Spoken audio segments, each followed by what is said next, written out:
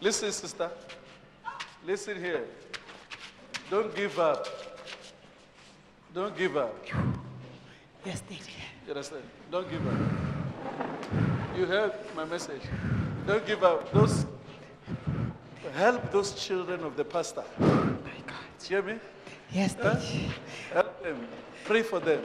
I will, Daddy. Yeah, because there's a spirit of death Yes, Daddy. that is turning around that pastor. Oh my God. You understand? Yes, Daddy. Eh? Yes, Daddy, I understand. You understand what I'm saying? Um, I understand, Daddy, but this morning I just sent them what happened, said I gave up. Don't give up. Yes, Remember Daddy. the cancer. Yes, Daddy. Eh? My God. The cancer. My Jesus. All of them is like they've got cancer. Ye- yes, Daddy. Three of oh them. my God. Yes, so Daddy. you are the one who can pray for them. Pray for Oh them, they will be healed. But Daddy, the pastor just said I'm using the snake spirits and what what the main pastor.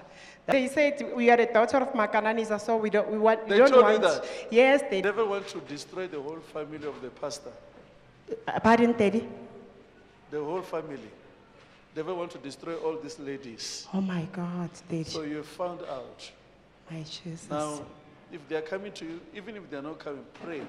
I Yes, just hear Daddy. that God wants to use you yes, uh, Daddy. prophetically. Yes, Daddy.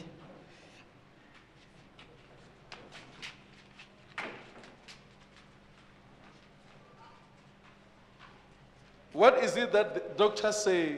What is that doctors say concerning the elder, elder lady, the sickness? They say the trouble started with the The elder sister. Tell yeah, the elder sister. They say what? They say she has a cancer now. She's All right. blind. Okay, don't worry. Pray for them. Yes, Daddy. Yes, I confirm the, uh, the prophecy. Something happened. There are three ladies. They all have an attack. Something happened. It's, they came to my ministry where uh, they were prophesied upon that they must go back to the elder of the church and then they apologize so that the cancer can be removed from them. But their problem is one is that they cannot. Um, do according to my instructions. As they say, my father is Apostle Makananisa, so they don't believe in the snakes and whatsoever that we are using.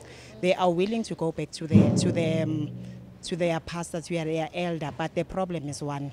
They cannot confirm, as in, they thought, as I come from Davidson, I don't relate with uh, Apostle Makananisa. When they find out that I'm a daughter of Makananisa, they don't want to follow the, the, the instruction. Then now the firstborn is worse because now the firstborn is blind from cancer. All of them, they had cancer, and then the firstborn is blind, and the second one is see, seeing vivid. They cannot see clearly.